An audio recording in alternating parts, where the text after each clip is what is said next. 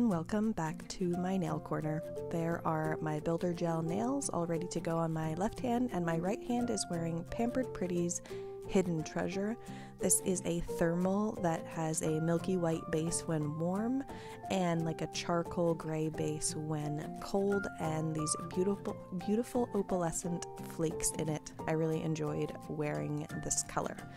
Um, but I'm here to talk to you today about Bombshell Nail Co the owner of Bombshell re- reached out to me on Instagram and asked if I wanted to try some of their products. So I picked these two colors based on swatches I saw on the website that drew my eye. And this one is called Jester. It has mylar flakes in it, and if I'm being totally honest, I don't think I've ever worked with mylar flakes before.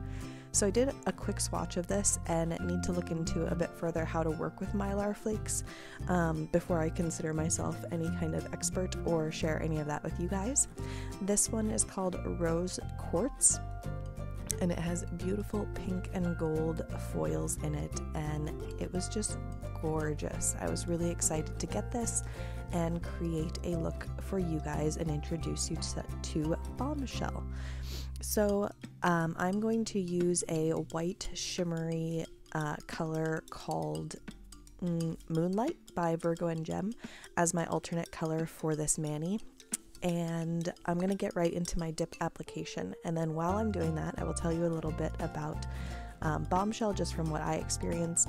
Um, the foil that you're going to see me use was really easy to work with. I really liked it. Their website is really cool. I um, I liked the swatches on the website. I'm going to show you a couple here so you have an idea what I'm talking about. So, a couple of these that drew my eye were Secret Garden, um, breakfast cereal, and then I'm just to scroll through a little bit here so you can see. I'll pop it on the screen. Um, I love the swatches because they're just, they're not like a, from what I can gather, not a digital rendering of a color. They're actually like a micro shot of the glitter, which is I think really cool, and I haven't seen that a lot before. So I thought that was really fun and easy to shop. The website, uh, the the minis, several of them that I looked at, so maybe all of them. I didn't look at every single one on the website. Were like $4.99 like steal you guys i felt i felt ridiculous shopping because i could just add keep adding to cart um, i have a discount code below and the website in the description box so if you're interested in shopping definitely check them out because yeah, I have no complaints. They were really cool. And I have a couple other glitters saved to my cart right now because I'm really excited to try them out. I know uh, Carol Annette had tried them out also, and she had one of their uh, solid, like medium pinks in her mani, and she really liked the way it performed as well. So, yeah, I think good news all around. Another small brand to shop from. So, definitely give them a look. So today I am using my Nail Addiption liquids. They're always on my desk with my like my stash of liquids that I would reach for regularly. And every time I pull them out, I am just reminded how much I really love them. Like, I just really enjoy her liquids. And I don't know if I've mentioned before, but the activator from Nail Addiption has like a slight like vanilla scent to it. And I said that one time and I questioned myself because I thought maybe I was losing my mind. But she confirmed for me that it does actually have a vanilla scent to it, which who doesn't want activator that just smells a tiny bit better than the chemical smell that usually comes with activator. So, if you're in the market for liquids, check out Nail Addiption because I really enjoy those. And I have a discount code below, and they also have just some great powders over there too. So, I don't waste I don't waste if I don't have to. And so I'm just tapping this little excess in. I was like, I can't believe I just spilled this jar before I even used it. But it poured back in nicely. So I'm to get into dipping into this foil. You could put this into a cupcake liner and lay your nail into it like I typically do, but I thought I was going to give it a shot because my nails aren't super long right now into this mini, and I was able to lay my nail flat into that. And then the foils, as you could see, if they were poking up or whatever, I just patted them down and they laid really flat. They were very pliable and just super easy to work with. So I really enjoyed working with this um, this powder. I found it like like I said, just super super easy to work with, and I love the way it looked in the end. So now I'm going to show you the cupcake liner situation and how um, it'll perform pretty much the same way as it did when I was dipping it into the mini. So whatever works for you, have at it. Um, while I'm dipping, I will tell you I apologize that my voice is a little bit sick sounding because we do indeed have COVID in this whole house. It started with my son. Two days later, my husband was symptomatic, so they probably got the same exposure. And then, um, so that was on a Friday. And then by like Monday night, Tuesday morning, my daughter and I were symptomatic. And now this is Friday when I'm recording this. And um, yeah, we're kind of sick as dogs. My husband is seeing a lot of improvement today, but his taste buds seem to be going. So he drank coffee this morning and he said, Did you do something different to this coffee? And I was like, Not really. And he said it tasted terrible. So he said apparently, like, only the bitter flavor came through and none of the rest. So he ended up dumping out his coffee. He made tea. He said that didn't taste very much. Um, he ate something else and he said it's, it's very strange. I know a lot of you have probably had COVID by now. I mean, a lot of people have, but he said it, it's weird. Like his brain knows what the food he's eating is supposed to taste like, so he like feels like it for a moment, like I, he can taste it, but then he realizes he's not really tasting it. It's very strange. And honestly, I'm not looking forward to it if that's coming my way. So, my son is having a similar thing where I haven't said he's lost his taste, he's had an altered sense of taste. So, things that he generally loves, I'll give him and he they taste terrible to him. So, that's a strange thing to try to conquer with an 8-year-old. He's been surviving for about a week on like five foods that he will say taste normal to him. So, it's a, a life of you know graham crackers and mac and cheese and bananas. It's it's very strange over here. So anyway we're technically in quarantine until next friday.